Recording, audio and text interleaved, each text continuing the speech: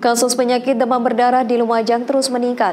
Data terakhir Dinas Kesehatan setempat, terdapat 119 pasien DBD sejak dua bulan terakhir.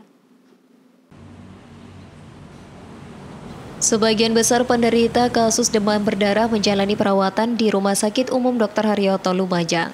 Sementara itu, total jumlah pasien demam berdarah sepanjang tahun 2024 di Lumajang berjumlah 119 pasien, di mana kasus tersebut didominasi anak-anak dengan tenggang usia 5 hingga 14 tahun. Tingginya kasus demam berdarah ini disebabkan oleh musim penghujan, sehingga banyak genangan yang menjadi tempat nyamuk untuk bertelur.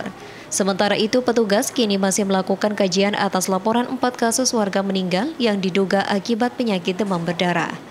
Sebaran kasus DBD ini paling banyak terjadi di Kecamatan Pasirian, Kedung Jajang, dan Kelaka. Di Lumajang memang ada kenaikan sedikit, di mana uh, dipicu di beberapa daerah ini yang ke kekeringan, di mana apa warga itu airnya ini tidak dibersihkan karena eman ya eman di beberapa daerah yang kekeringan tadi uh, tapi kita sudah mempunyai solusi yaitu diberikan ikan di tempat penampungan airnya sampai bulan uh, Februari ada berapa? sampai bulan Februari ini ada 119 kasus yang terbanyak di bulan Januari kalau yang Februari ini yang terlaporkan 38 sebarannya di mana yang tadi saya sampaikan yang terbanyak Kelakah, Kedung Jajang sama Pasirian. Yang lainnya tersebar merata ya.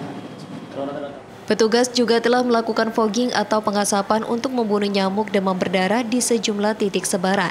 Selain itu, atas meningkatnya kasus DBD ini, warga diminta untuk terlibat aktif memberantas sarang nyamuk di lingkungan sekitar. Yongki Nugroho, JTV.